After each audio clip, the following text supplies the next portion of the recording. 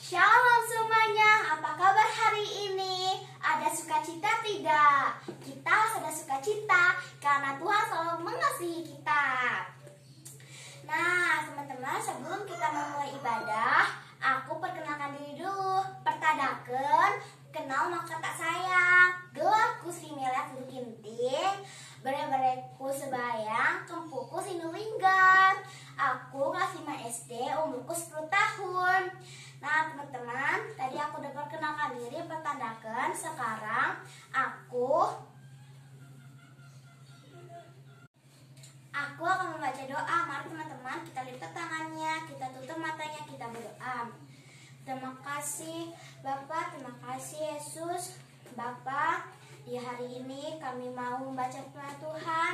Berkatilah kami, urapilah kami Tuhan Agar kami bisa lebih tenang Tuhan Terima kasih Bapak, terima kasih Yesus Halia. Amin.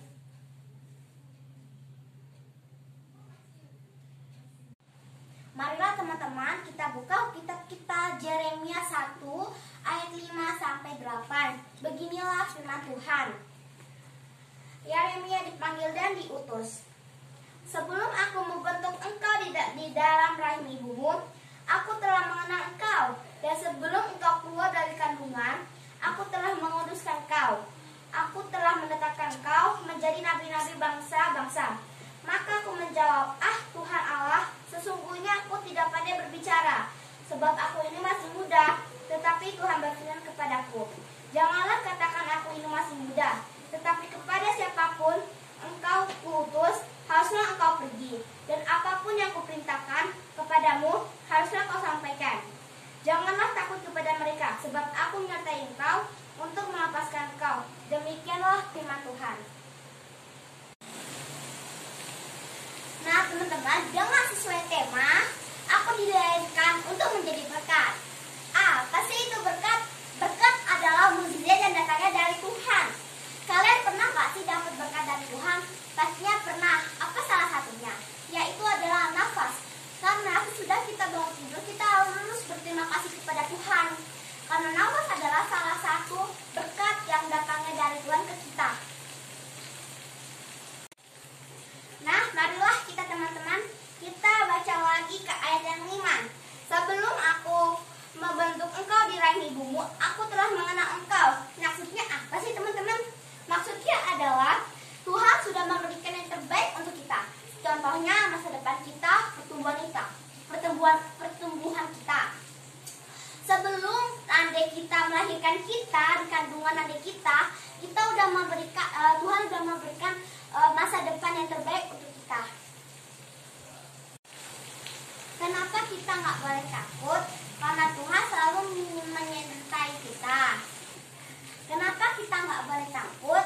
Karena Tuhan selalu menyertai kita dan kita sebagai anak Tuhan kita nggak boleh takut dan anak Tuhan adalah berkat eh, sekian dari aku baca firman ini semoga firman yang tadi aku baca itu bermanfaat untuk kita semua dan juga aku minta maaf kalau ada salah ya sampai jumpa mari kita kita berdoa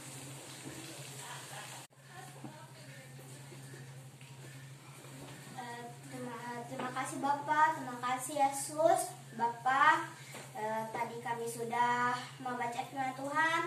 Kami tadi juga sudah mendengarkan firman Tuhan. Eh, sekiranya ya, tadi yang kami membaca firman Tuhan ini berguna untuk kami semua Tuhan.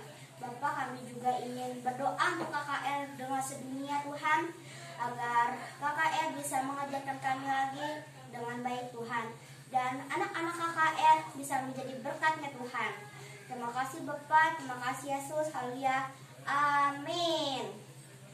Nah, teman-teman, sekian dari uh, sekian dari aku membaca firman Tuhan. Uh, sampai jumpa dengan aku. Uh, Tuhan memberkati